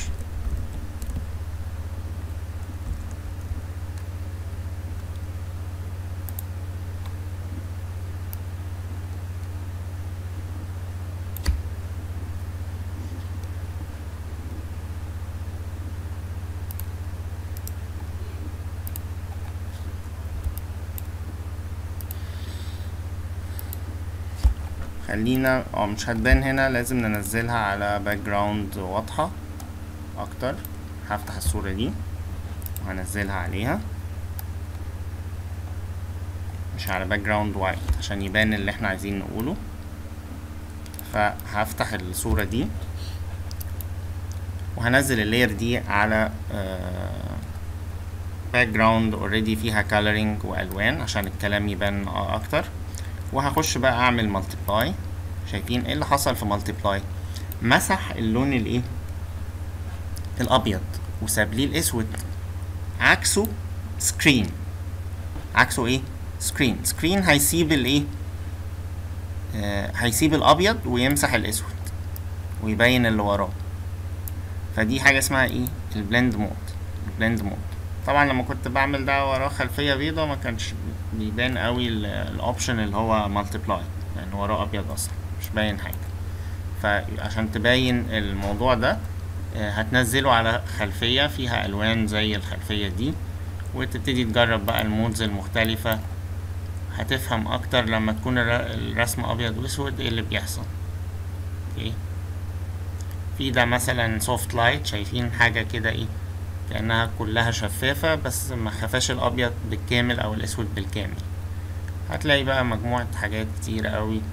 Effects مختلفة. في ده مثلا divide شايفين divide عمل إيه؟ ساب حول لي الأسود للأبيض والأبيض اللي كان موجود شاله تماما. ده اسمه divide خلاص هتبتدي تتفرج على الكلام ده هتفهم الفرق بينهم. بس لازم تكون الرسمة فيها أبيض وأسود ونزلها على خلفية فيها color range عشان تقدر تفهم الإيه الجزئية الخاصة بال blend mode سواء كان multiply أو أي blend mode موجود عندي هنا. طيب. آه إيه تاني هنتكلم عليه في ال lecture بتاعتنا؟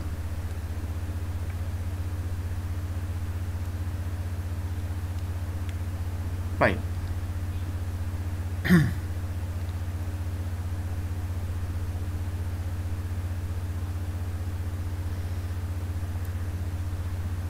تعالوا نتكلم على ال stroke أمر stroke خلاص إحنا هنقفل الملفات دي خلاص.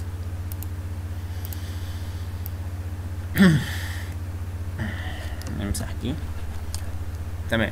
stroke بيعمل إيه؟ أنا ممكن عندي الورقة بتاعتي البيضة دي ممكن أرسم أي selection تمام. زي ال marquee selection واخش على أمر edit اسمه stroke. stroke بيعمل إيه؟ بس خلينا آه معلش نرجع تاني. ال marquee tool هنخلي ال feather ب zero ونرسم الايه الجزئية بتاعتي دي. تمام.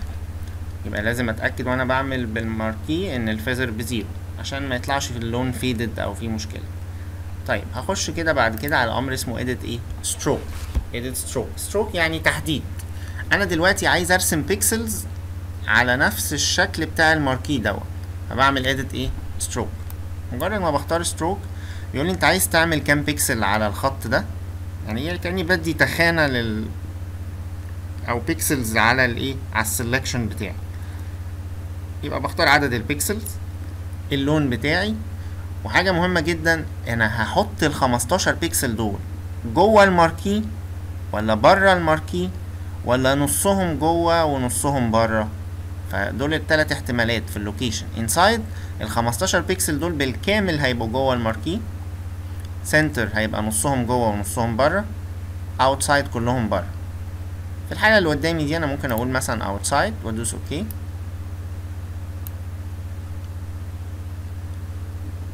شايفين إيه اللي حصل؟ حط لي ال 15 بيكسل. طبعا أنت لو zoom ت قوي هتلاقي 15 مربع بيكسل شايفين؟ بره الإيه؟ بره ال marquee بتاعك. تمام؟ طب وأنا ممكن قبل ما أعمل الكلام ده أعمل layer جديدة عشان ما يعملها ليش على ال background طبعا وده اللي إحنا عايزينه. دايما قبل ما ألون أو أعمل أي حاجة أعمل layer جديدة وأسميها مثلا ال stroke بتاعي واقول له إيه؟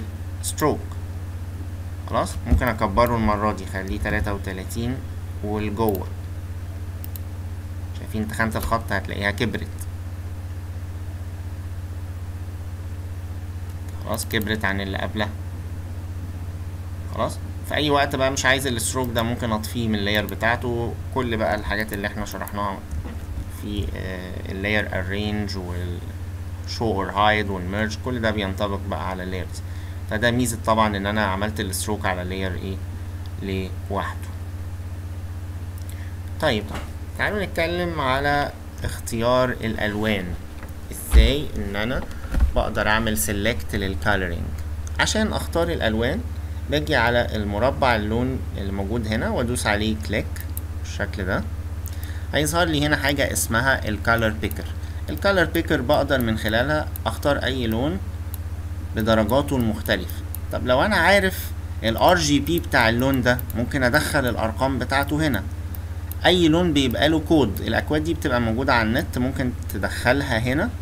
يقوم مختار لك اللون على طول. يعني ممكن نفس ده خمسة وخمسين تلاقيه اختار لك لون تاني. طب أغير التلاتة دي لخمسة اختار لي درجة لون تاني. طب أغيرها لواحد تلاقيه درجة لون تاني وهكذا. كل لون ليه كود وليه نسبة من ال RGB بختارها مجرد ما بعدلها أو حتى CMYK أو Lab color أو HSB كل الكلام دوت بتختاره. تمام؟ طيب. المشكلة بتحصل عندك فين؟ إحنا اتفقنا آه قبل كده اتكلمنا على مشكلة ال RGB وال CMYK في المحاضرة اللي فاتت آه فقلنا هنقول إزاي نختار الألوان بطريقة مظبوطة. يعني مثلا لو أنا اخترت اللون ده هتلاقي فيه هنا علامة تعجب علامة تعجب دي مع أول ما تظهر لك على اللون معناها إن الايه إن اللون ده مش هينفع يطلع في الطباعة. شايفين هنا بيقولك إن اللون ده فاقع قوي warning out of gamut for printing. يعني اللون ده عمرك ما هتشوفه في الطباعة. فبعمل إيه؟ بروح أدوس على علامة التعجب دي بيجيب لي أقرب درجة لون ليها بدون ما تعمل مشاكل في الطباعة وتطلع قريبة للدرجة دي. طبعا هي عمرها ما هتطلع زيها قوي تطلع قريبة جدا ليها فما لاقيش فيه مشكلة. يبقى أي لون الاقي عنده علامة تعجب فوق هنا في الحالة دي إيه؟ بدوس على علامة التعجب أو أختار لون ما فيهوش علامة التعجب دي. طيب نيجي لل... لل... للبوكس أو المكعب اللي موجود تحت عندي هنا. آه بخش على آه لو وقفت عليه هيقول لك warning not a web safe color. يعني اللون ده ما ينفعش تعمل له upload الصورة اللي هتبقى جواها الألوان بتاعتها. هيبقى في مشكلة إن اللون ده يطلع على الإنترنت تمام؟ فلو دوست عليه هيجيب لك برضو أقرب درجة. طب هنا الدرجة دي عملت حلت لي المشكلة هنا بس عملت لي مشكلة هنا. خلاص؟ فحاول بقى دايما إن أنا أختار درجة ما يبقاش فيها المشكلتين وده بيبقى غالبا موجود في الألوان الهادية شوية زي اللون ده مثلا. خلاص؟ ده لا فيه مشكلة في الطباعة ولا فيه مشكلة في النت. لو مش فارق معاك النت خلاص.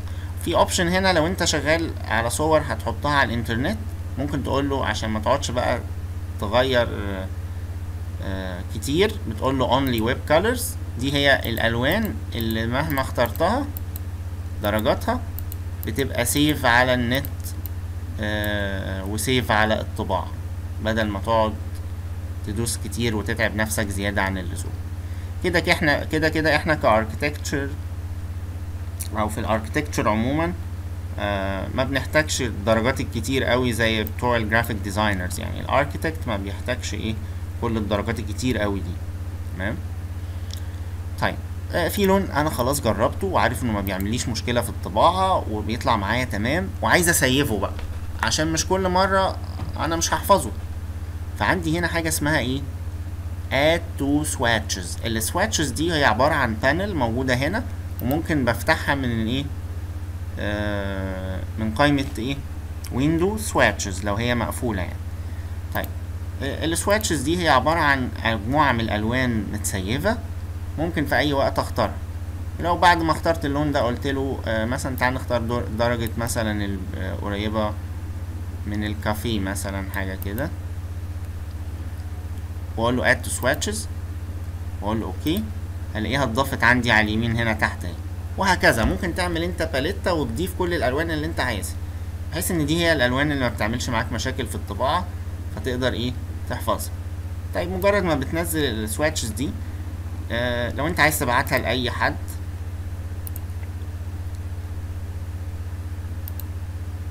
تمام؟ بتدوس على السهم ده اللي في ال swatch panel وتقول له save swatches وده بيبقى file بتسيفه دوت ACO وممكن بعد ما ما تسيفه آه تعمل له إيه؟ زميلك مثلا بتبعت الألوان دي لزميلك فيعمل لها load swatches ياخد ال file ده يعمل له load عندك. وبالتالي إيه؟ يقدر يشتغل على نفس الألوان اللي أنت شغال عليها. فال swatches دي زي palette ألوان. بحفظ عليها الألوان بتاعتي في صورة ملف وأقدر أتبادل الملف ده مع أي حد أو أجيب swatches من على الإنترنت بألوان معينة حد عامل upload لل file لل swatch وأخده وأشتغل بنفس الألوان دي آه زي ما أنت عايز. okay؟ طيب يبقى إحنا كده اتكلمنا على اختيار الألوان. طبعا أنت تقدر تختار أي لونين أنت عايزهم في ال foreground يعني ممكن أخلي مثلا ده أحمر وأعكس اللي هنا وأقول له خلي لي ده أزرق مثلا. بالشكل ده. يبقى كأن عندك لونين وتبتدي تلون بيهم. مثلا لو بالفرشة مثلا ده اللون الأزرق اعكس اللون. يبقى هو دايما بيلون باللون اللي فوق. السهم ده بيعكس اللون. دايما بيلون بال foreground ده الأحمر وهكذا. عايز أرجع الألوان للأساس بتاعها بدوس على المربعين اللي جنب السهم ده. هيرجع لي أبيض وأسود تاني. okay؟ يبقى كده إحنا اتكلمنا على النقطة الخاصة بال coloring how to choose colors بحيث طبعا إن أنت لما تختارهم ما يحصلش أي مشكلة معاك في ال print طيب في أدوات تانية أو طرق تانية ممكن ألون بيها. بعد ما بعمل selection إحنا خدنا المرة اللي فاتت أمر اسمه fill وده ممكن ألون بيه إيه؟ المنطقة اللي أنا عملت لها selection. تمام؟ طبعا لو أنا عايز أعمل selection على الجزء الداخلي ده من أسرع الحاجات هي ال magic wand لو أنا جيت هنا ودوست click جوه هلاقيه اختار لي المنطقة دي أبتدي ألونها بقى.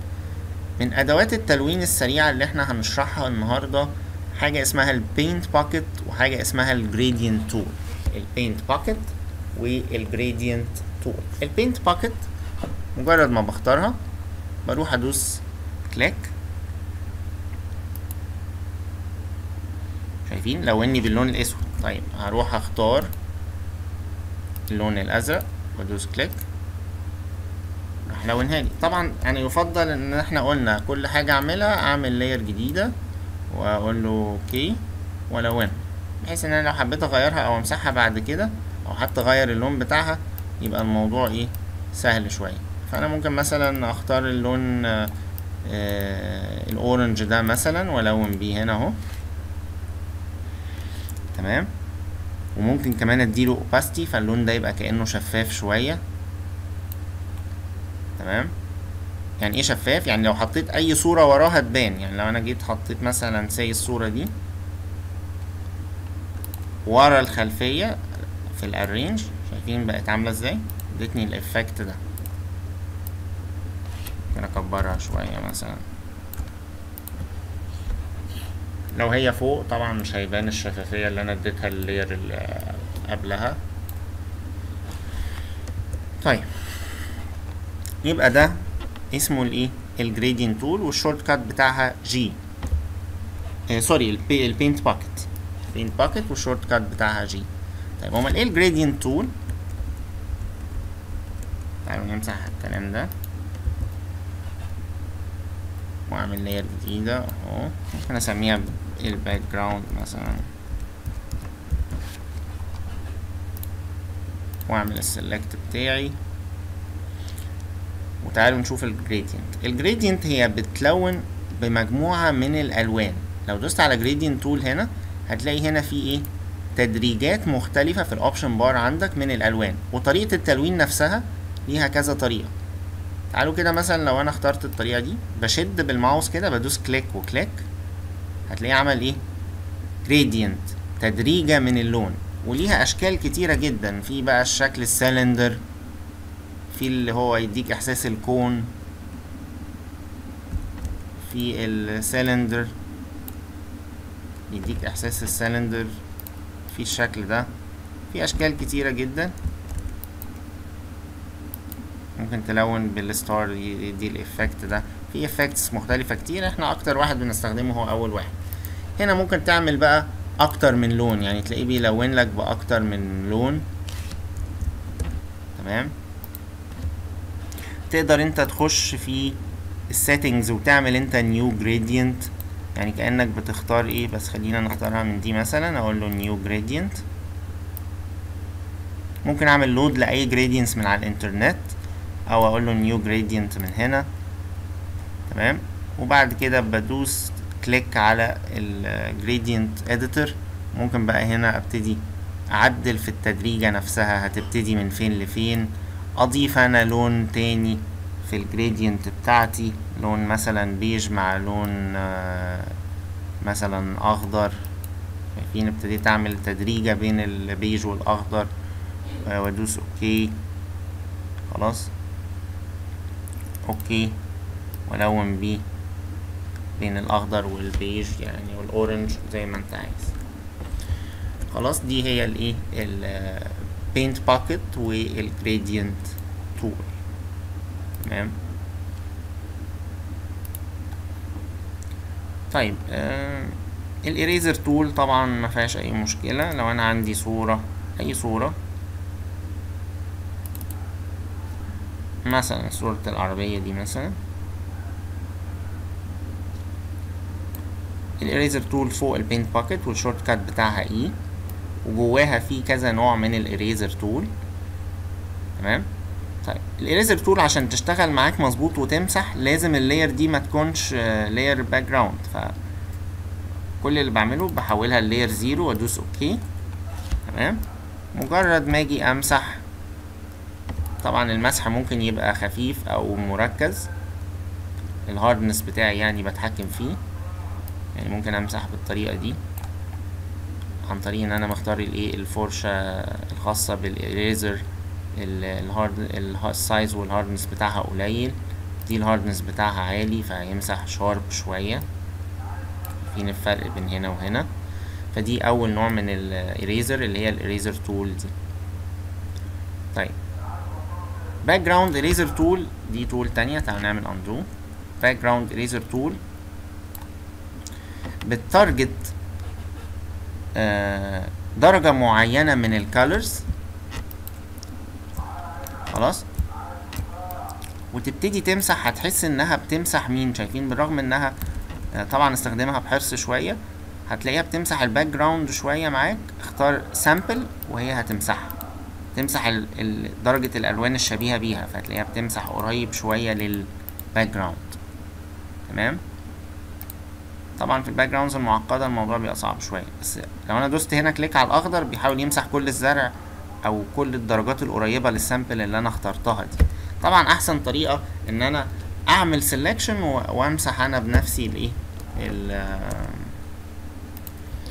المنطقة بتاعة ال selection طيب هتلاقي عندك هنا في ال magic eraser tool دي بتوفر عليك وقت كبير قوي لأنها بتدمج بين ال magic wand وال delete على ال keyboard يعني مجرد ما ادوس عليها دي اللي هي إيه ال magic eraser tool هتدوس click هتلاقيه بيمسح لك ب tolerance يعني كأنك بتعمل select بال magic wand وتدوس delete على ال keyboard بس في خطوة واحدة. فدي بتوفر طبعا وقت معاك كتير برضو تمام؟ وممكن الباقي ده أمسحه بقى أنا بإيه؟ بال eraser tool العادية بقى. أقعد أمسحها. خلاص؟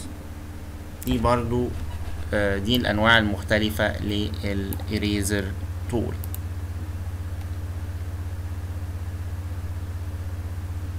طيب آخر حاجة بقى آه هنشرحها النهاردة. أوامر الإيه؟ الأوامر الخاصة بال layer style blending options ال layer style blending options دي مهمة جدا وهي اللي هتساعدك كتير قوي من الحاجات المهمة جدا اللي هتساعدك في تصميم اللوجو بتاعك. تمام؟ طيب. تعالوا نشوف هي عبارة عن إيه. وبعد كده في في التمارين بتاعتنا وأنا شغال معاكم إن شاء الله بالذات في من المرة الجاية هنبتدي نتكلم بقى in architecture لأن إحنا كده بقى عندنا background كبيرة من الأوامر. فإن شاء الله من المرة الجاية هنبتدي نتكلم على إيه إزاي كل الأوامر دي ممكن نطبقها بقى بس آه ك architecture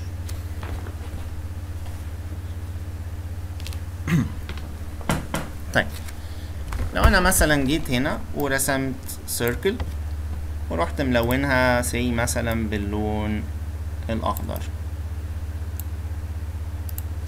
عن طريق إني دوست G اللي هي ال gradient وعامل layer جديدة طبعا ورحت ملون باللون الأخضر ال circle دي ولغيت ال selection بتاعي. ده معناه إن أنا أقدر أحرك ال circle دي عشان هي على layer لوحدها بالشكل ده.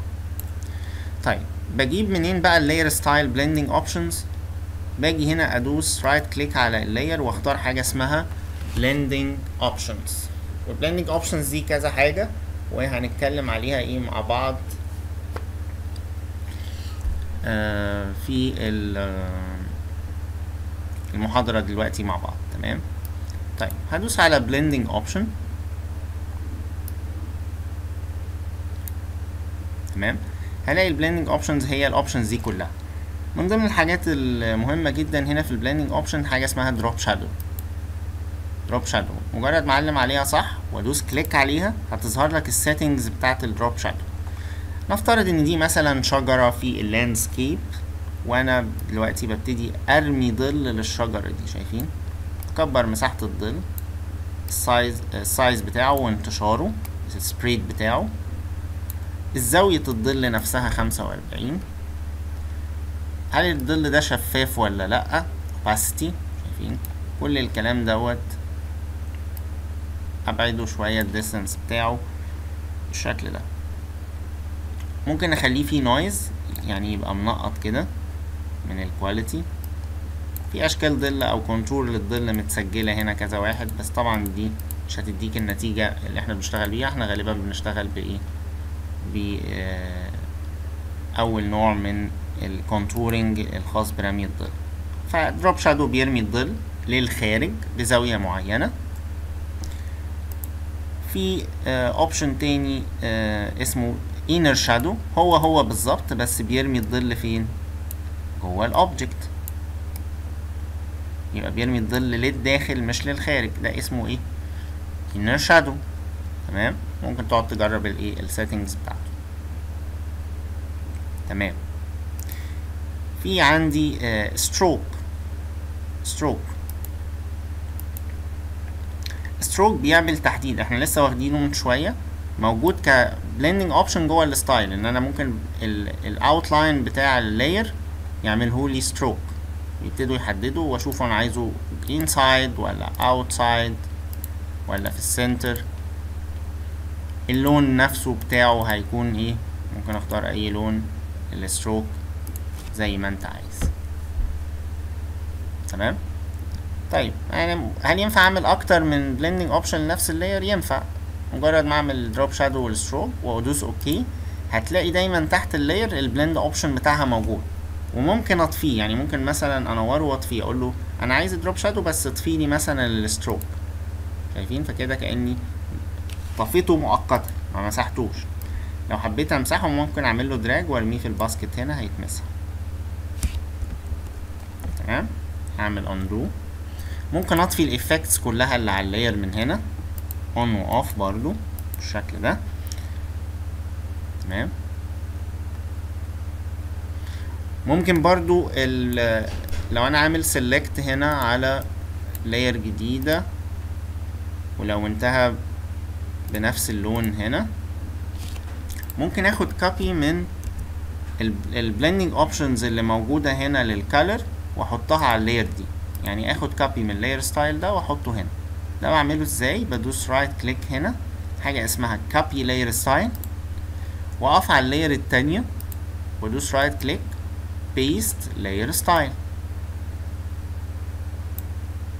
شايفين؟ نقل لي كل ال blending options اللي كانت على ال layer color لل layer 1 نفس كل حاجة. عن طريق إيه؟ right click copy layer style وأقف على ال layer التانية. right click paste layer style طيب.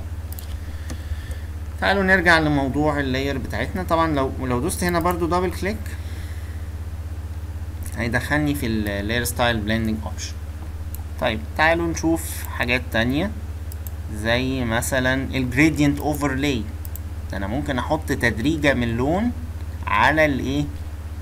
على ال object بتاعي ولسه متكلمين على ال gradient من شوية. ممكن أحط color لون لون فوق ال layer okay وبعد ما أحط اللون ده ممكن أدي opacity فكده كأني دمجت الأخضر مع الأحمر اداني اللون الايه ال orange شوية. تمام؟ ده اللي هو الايه ال color overlay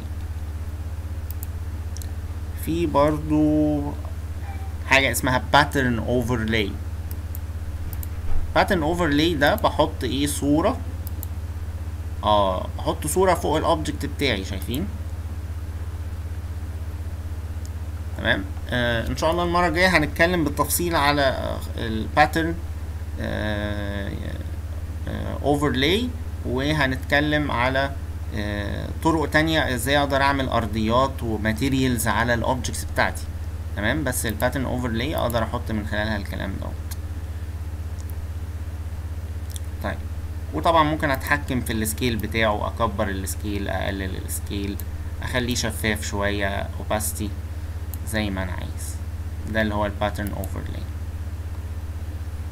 في برضو ال bevel emboss ال bevel emboss ده كأنه بيدي إحساس ال 3D شوية آه لل object بتاعك. يعني بصوا مجرد ما أزود ال depth وال size بتاعه شايفين؟ وأعمله soft شوية. هتلاقي كأن الشكل ده بارز لإيه؟ لفوق. وده ال direction بتاعه. down كأن الشكل ده غاطس لجوه. فال bevel وال emboss بيدي الإحساس إيه؟ البارز والغاطس أو بيدي زي إحساس ال 3D للعنصر أو اللي أنا إيه بشتغل عليه. تمام؟ ممكن أديله كمان في هنا حاجة اسمها contour أبتدي أزود في في قيمة ال contour دي فهتشوف إن شكل ال 3D بيتغير شوية من هنا. ممكن أضيف texture على ال يعني ممكن ما أعملش contouring خالص.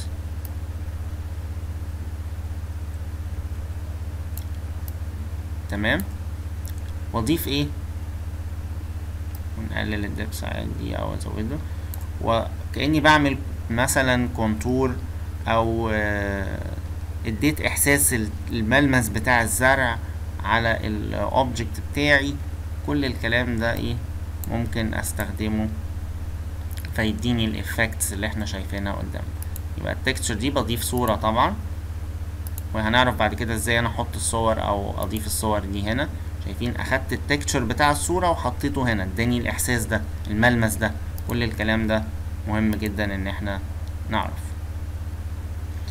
طيب كده فاضل لنا حاجتين. ح... آه في برضو حاجة اسمها الساتن ده برضو ليها effect معين بيترمي على ال object بتاعك.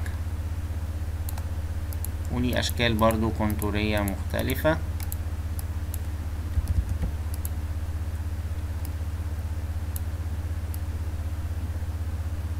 تمام شايفين بيرمي برضو هنا آه effect خفيف خالص. اهو. ابتدي اعدل في ال distance وال size بتاعي والزاوية وال opacity شوية. شايفين بيدي effect الايه؟ آه ان هنا كأن في منطقة غامقة شوية وحواليها منطقة فاتحة. يعني تبتدي تلعب في ال effect ده. فيديلك إيه؟ كأن الإحساس ده برضو إيه؟ آه الشكل ده أصبح إيه؟ مجسم يعني رامي إيه؟ ظل على نفسه وهكذا يعني. خلاص ده اللي هو الساتن. طيب آخر two options هنشرحهم اللي هي ال inner glow وال outer glow أنا هعمل ورقة جديدة. المرة دي هختارها في ال international paper A4 ادوس okay تمام. هلون مثلا الخلفية ال background بتاعتي باللون الأزرق. وهعمل layer جديدة. وهلونها باللون الماجنتا شوية الموف. وهرسم circle هنا. وهلون بال magic بال gradient tool ال circle شايفين ملون ال circle على layer لوحدها وال background لونتها بالأزرق. وهروح هنا على layer 1 وادوس right click blending options وتعالوا نشوف حاجة اسمها ال outer glow مجرد ما تختار ال outer glow وتبتدي تزود في ال spread وال size بتاعه شايفين ابتدى يديك كأن في lighting موجود أو زي ال eclipse كده. كأن في lighting موجود حوالين الايه ال object بتاعك. طبعا لون ال lighting ده بتختاره عايز فيه noise ولا مش عايز noise الشفافية بتاعت ال lighting عايزه عالي قوي ولا خفيف. آه في أشكال لظل أشكال مختلفة لل lighting ممكن تترمي وتديك effects كل ده ممكن يستخدم في اللوجو. لو انت عايز تخلي اللوجو بتاعك يبقى حواليه effect معين زي ما إحنا شايفين كده. okay ده اللي هو ال inner glow طيب. ال outer glow آه آسف ده ال outer glow ال inner glow بقى نطفي ال outer بيرمي الظل إيه؟ زي ما قلنا للداخل. تمام؟ آسف. sorry ده ال inner shadow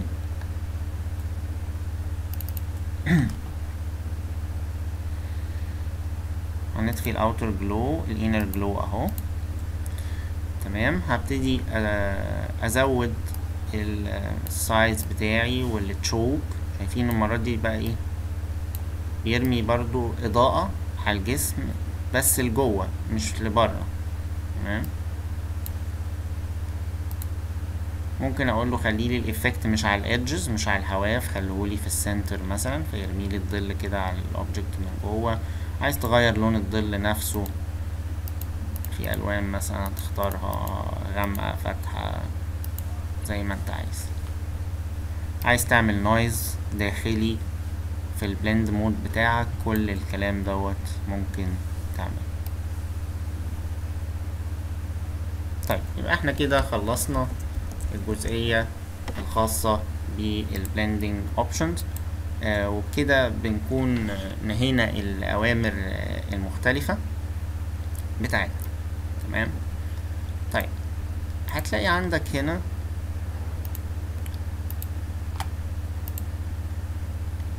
أفكار مختلفة في ال folder ال materials بتاعنا. اللوجو هتلاقي هنا مثلا آه، ده التمرين اللي مطلوب منك.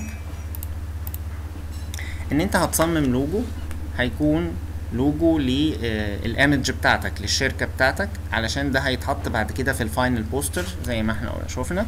عايزك هتصمم أي لوجو دي أفكار مختلفة لمجموعة من ال logos المختلفة انت بتبتدي آه، تختارها وتعمل ال design بتاعها. آه، إحنا مثلا النهارده آه، عشان أساعدك شوية هخليك نشرح الخطوات الخاصة بالإيه؟ بتصميم اللوجو الخاص بشعار BMW مثلا تعالوا نفكر مع بعض كل الأوامر اللي استخدمناها دي إزاي ممكن نصمم بيها آه، اللوجو بتاعنا. آه، تعالوا كده نشوف مع بعض أنا هعمل file new وأدوس okay وهاجي أفتح الشعار الخاص ب BMW طبعا في هنا مجموعة مختلفة من الشعارات مثلا زي شعار بيبسي أنا بس هتكلم معاكم النهاردة على إزاي ممكن بالأوامر اللي إحنا خدناها كلها نصمم شعار BMW أو هو إيه هي خطوات تصميمه؟ آه طبعا في شعار بيبسي برضو ليه خطوات تانية وأوامر تانية. آه أنا بس هعمل لكم ال- آه، الشعار الخاص بتاع BMW أنا كده عملت صورة جديدة ملف جديد وجنبه آه، الشعار الأساسي اللي أنا عايز أقلده. أشوف إيه الخطوات اللي هعملها عشان أرسم نفس الشعار ده. طيب عشان أظهر الملفين جنب بعض ويبقوا واضحين قدامي بعمل هنا في قائمة ويندو arrange حاجة اسمها arrange وأقول له مثلا آه, to up vertical to up vertical.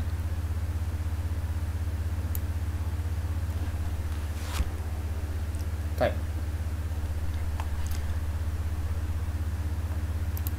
هروح أرسم هعمل خط vertical وخط horizontal. guidelines من ال ruler يبقى وأنا واقف على ال move tool قلنا لما بشد من ال ruler بعمل drag بيعمل لي إيه؟ ال guides بتاعتي. طيب أنا دلوقتي عايز أرسم الأول إيه؟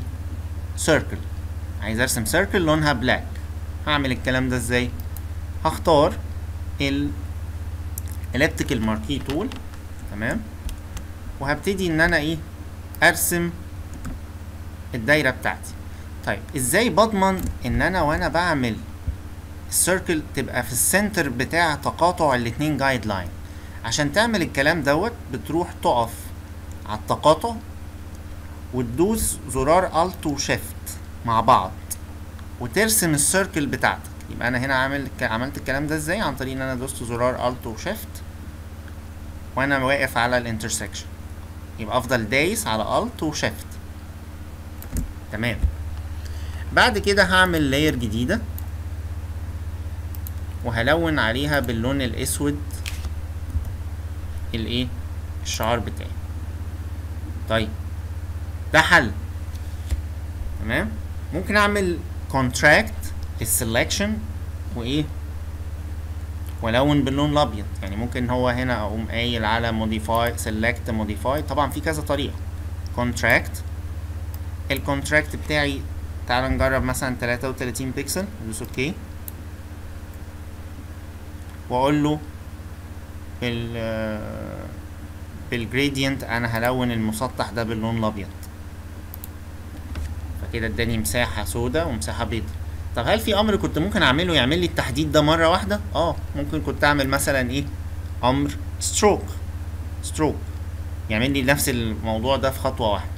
طيب. أنا عايز أعمل contract للداخل تاني. هقول له select modify contract دي كانت 33 تقريبا دي ضعف دي تقريبا. فخلينا نقول مثلا إنها 60 مثلا. contract 60 لجوه. وألون باللون الإيه؟ الأسود. هقلب اللون كده وبال gradient هلون بالأسود. تمام؟ طيب.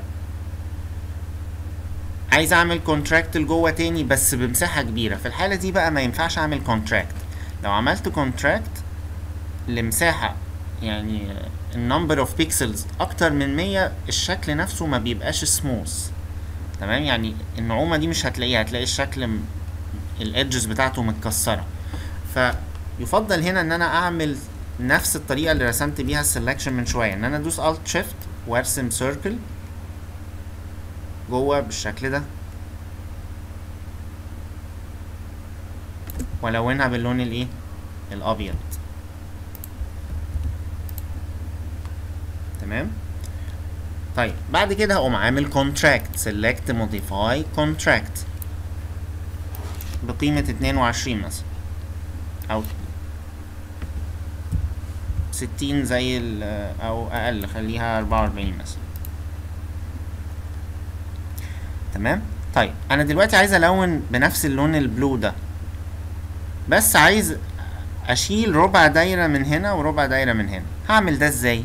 عن طريق ال rectangular marquee هختار من هنا حاجة اسمها subtract from selection وهشيل ربع الدايرة دي وربع الدايرة دي. يبقى كده أنا كأني مختار ربع الدايرة اللي هي اللي على الشمال فوق اللي على اليمين تحت. وأقوم مختار نفس طب أنا عايز نفس الدرجة دي. عندي هنا في tool اسمها ال eyedropper tool ممكن أختار منها نفس الدرجة دي فهتنزل لي هنا في ال foreground عن طريق حاجة اسمها الايه ال eyedropper tool وأدوس gradient وألون الاتنين دول مع بعض.